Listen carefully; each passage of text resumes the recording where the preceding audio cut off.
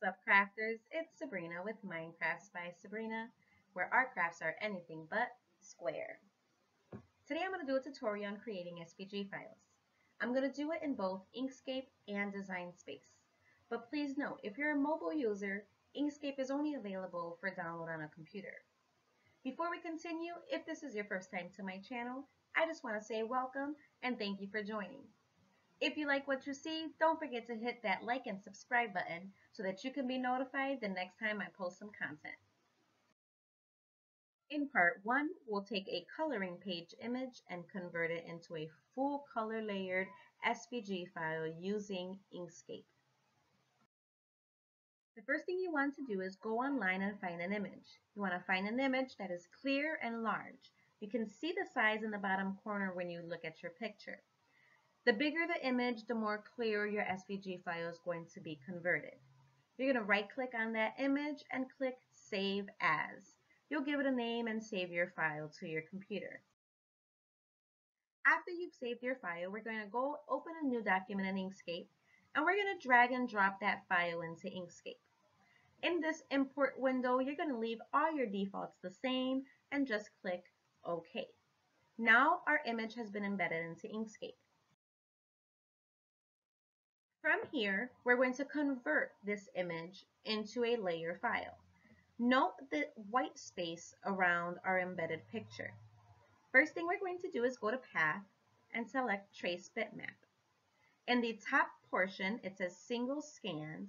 You'll leave the defaults and change the colors to the number 2.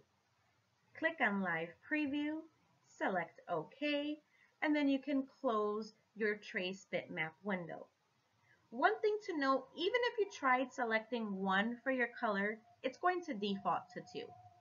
So close your window, and now your image has been converted. There's no longer any white space around our SVG file. So we'll move that over a little bit. It's going to reveal our original picture under there. We'll right click and select delete on that image. So we've just created a single layer single color SVG file. We're going to save our work by clicking File and Save As and give it a name. Next, let's go ahead and separate these layers. Remember, this is single color, single layer. So this is the equivalent of cleaning up an image in Design Space.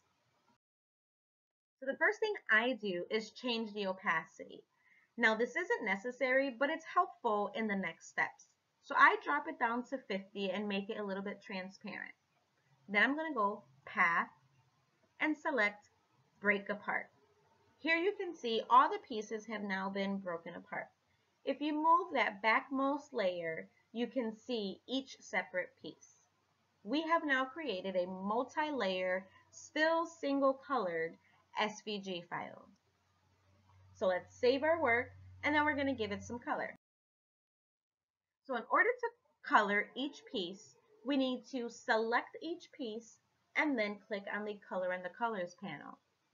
If you have more than one piece to convert to the same color, then you can click on each piece by holding down the control button. And then we'll go ahead and click on the color. In order to combine or weld those like color images, then we can go to Path and select Union. Union is the equivalent to weld in design space. So now we're just going to go ahead and repeat the color and weld steps for each other layer. So we'll do the next is the frosting in blue. We'll give our cherry some red. We'll give our cupcake some tan. And please note, again, there's three layers. So we're going to go to Path and Union so we can convert that to one layer. Next, we'll select all of our cupcake pieces at the bottom and turn that into brown. Again, it's separate pieces, so we're going to go path and union to convert those into one layer. Last thing is our slices. We want these pieces to be sliced out of our brown layer. So in order to do that, we've selected the brown layer and all of these slices. We're going to go path and select exclusion. Exclusion is one of the equivalents to slicing. in Design Space. We'll move our back layer back into the background and bring our opacity back up to 100 so we can see it in clear, vivid color. I didn't miss any layers. I've colored my image. So now we are completely done. We've gone from converting a coloring page image into a full color layered SVG file. So we're going to save this file. Next thing is to upload it into Design Space. So in Design Space, we're going to open a new project, click Upload in the left panel, Upload in the middle, and then we're going to drag and drop that file. Our image instantly comes available. You'll name it, add some tags if you want, and select Save. There's our file. We'll go ahead and click on our picture and select Insert Image. And here it is in Cricut. You see we have our seven layers, all colored, all separated, all welded, all ready to send to mat. All you have to do is size it to your project. So part two, we're going to do the exact same thing going from this coloring page to a multicolor image, but we're going to do it strictly using Design Space. So we're going to open a new project in Design Space, select Upload from the panel and Upload again. We're going to go ahead and drag and drop that file that we found on Google. I'm going to select Moderately Complex and select Continue. And I'm going to take my magic wand from up in the corner and only click on the black outlines. So that's the, if you click on the back stem, it's going to take out almost everything, all your black lines touch. And then I also have these black lines in here to click each one individually. After you've selected all of your black, you're going to go ahead and click continue. Select that you want to save it as a cut image name it and give it tags as you would like, and go ahead and click Save. Here our image has inserted. We're going to go ahead and click that image and insert it into our project. And now we can see our single layer, single color SVG file. Let's go ahead and break it into layers.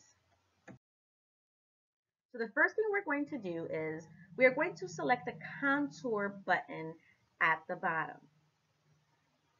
So we're going to click contour and then we're going to select this button that says hide all contours. When we hide all contours, you'll notice in the back, it only leaves the black square that's in the background. So I'm going to click on the cupcake in order to reveal the cupcake. And then I'm going to click on the black square so that it eliminates the square. So the only thing that should be visible is the cupcake base. The reason why I had to do it in that fashion is only one, at least one object must remain visible. So we're going to start with our base as our background, and that's going to be where I start. And then before you close out, you want to count how many different layers do you need. I know we already need seven. That's what we did in the last one. So I need one for black, two for red, three for white, four for blue, five for tan, six for yellow, seven for brown. So now that I've decided how many I need, I'm going to close out of contour and I'm going to click duplicate. I want to duplicate this as many times as I need. I already have one, so I need six more. So I'm going to just click that six times, select all, and then I'm going to align center them. So after I click select all, I'll click on align and click on center. Now they're all nice and centered for me. Now we're going to pick each layer and we're going to apply a color to it. So we'll pick our first layer and apply red, blue, tan, yellow, brown, black, white. Then we're going to pick each color one at a time and we're going to select contour. We're going to click on all the pieces that should be this color and we're going to click them so that they show. Then we're going to click the cupcake base so that that one hides. So basically we're flip-flopping them. We're going to close our contour box to save it and then repeat the hide and show on all other layers. So here we have the blue layer where we only have the frosting visible. We have the tan layer where the three cupcake portions are visible. We have the bow where the five pieces in the bow are visible. And last we have our brown. We have now created a multicolor, multi-layer cut file in Design Space.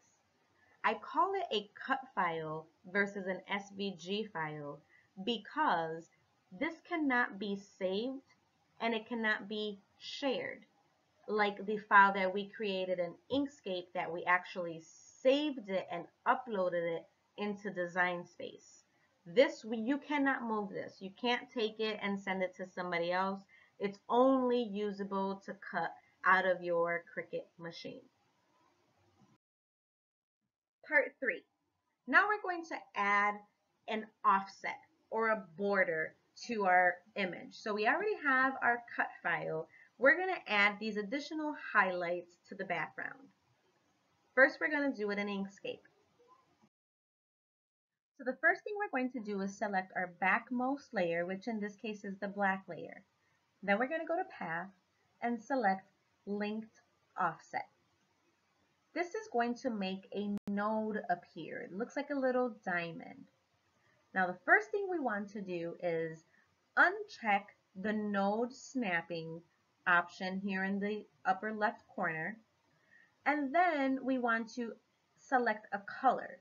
I do this first because it helps me see my outline in the next step. So after I've selected my color, I'm going to click, hold, and drag the node upwards so then I can stretch it and reveal an offset. Now it isn't a cut path yet. We have to go to path and select object to path and now you're going to see that it makes nodes all over the entire offset. If you want to make more than one offset, you would repeat these steps and then save this and upload it into Design Space. A few things to note. In Inkscape, you can make as many offsets as you want, and you can also vary how wide each one is. So here we have a second offset.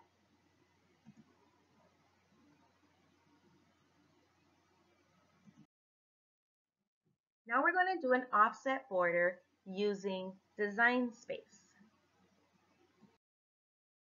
So to make the offset, we're going to use the backmost layer, which in this case is the black layer. So we're going to hide every other layer by clicking on the eye next to that layer. Then we're going to select the black layer and change the fill from no fill to print. After we've selected print, we'll click on make it at this window, we'll simply select continue. And here we're going to send it to our printer. Now note, your machine does not have to be connected in order to do this step. So I'm going to click on select printer. My printer is going to be set up to Microsoft Print to PDF. Yours might be different. It's going to be whatever your system is default set up with a print to PDF option. Then I'm going to leave my bleed on. I know it's on because it's green and then we'll go ahead and select print. Because this is saving as a PDF, we need to give it a name and click save. And then we need to cancel out of the map. So I'm going to select cancel and it's going to ask, are you sure you want to cancel? Yes. And then once again, cancel. Now that we've saved our PDF file, we need to open our PDF and use the snipping tool to take a screen print of it. And then we'll save that print. We need to do this because Design Space does not allow for a PDF type file to be uploaded. So we'll save a picture of it. Click on Save. Now we'll open a new project in Design Space, click on Upload from the panel, Upload in the middle, and we'll drag and drop our image. Once again, I'm going to select Moderately Complex and select Continue. And we'll clean up the image this time with the magic wand by selecting all the white spaces around my image. Go ahead and select continue. We'll save this as a cut image, give it a name as well as some tags, and select save. My image has uploaded. I'm going to click on my image and go ahead and insert this into my project. Now that our offset is in design space, I'm going to click on that offset and apply a color to it. Then I'm going to adjust the size and center layer it behind my cupcake base. Sometimes it can be a little tricky. I find the best way to go about it is to make it the same size as the base layer and then go up from there. Now, if you want to add more than one offset, then you would go ahead and repeat the process to create another one. Otherwise, if you're done, then you can unhide all of your layers from the beginning by clicking on the eye again and reveal those. So a few things to note. You cannot control how wide your offset is going to be like you can in Inkscape. Because you aren't physically stretching this image, you are just using a bleed function, it's going to be what it is.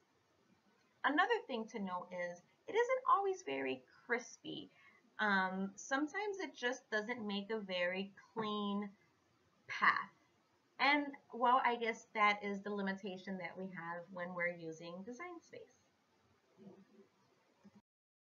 When you click Make It and you send your project to the mat, each layer is going to have a corresponding mat in that color. You will follow the prompts on your screen and send to cut on your desired material. This is an example of a project that was made using the SVG file that was created. Each layer was cut on a different color. I cut the outline and the base on cardstock and every other layer was cut in vinyl and then all applied on top of each other. So that's all I got for you guys today. I want to thank you for watching. Please like and subscribe if you like this content so I can keep bringing you more. And if you found this video helpful, please share it with a crafter friend and hashtag quarantine training.